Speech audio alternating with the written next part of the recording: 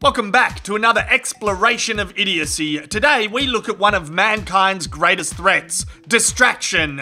This fella is distracted by his own daydreaming, and bam, the window smacks him into reality. Phones are by far the biggest distractor of the modern age, although, in this woman's defense, that is a bloody strange place to build a coal mine.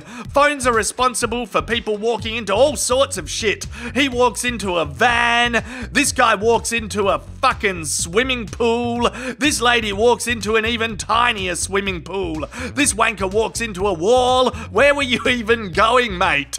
This guy Rochambeau's a bus stop. Well, this woman nearly gets into an elevator but fucks it. This primate is so distracted by his phone he throws himself into oncoming traffic. And here's evidence of the age old adage that men can't multitask. Damn it! Piss poor effort. Here's someone that's been riding around for hours, probably trying to find a Charizard in Pokemon Go, when a wild car appears.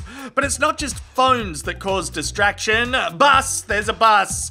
Like here, I wonder what's caught this dickhead's attention. It's the Sheila walking across the road. The traffic light says, I see you having a perv, and you're gonna need to rebuy your milk.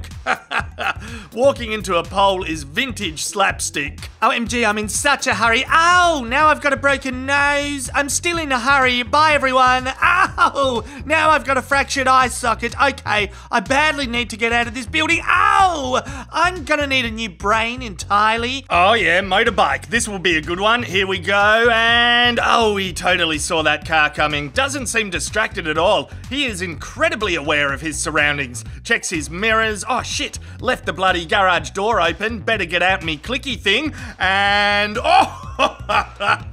Fuck, that is sheer dumb luck, or the most elaborate game of mousetrap I've ever seen in my life. She does not look happy. This is like the beginning of a fucking Saw movie. In the garage, no one can hear you scream. The drongo in red has picked a bad time to say good day to his mates. The bull is like, how you going? The rodeo clowns rescue him. Don't worry, mate, we'll get you out of here. Watch what you're doing and you'll survive. Oh shit, another bull! He really needs better situational awareness, that guy.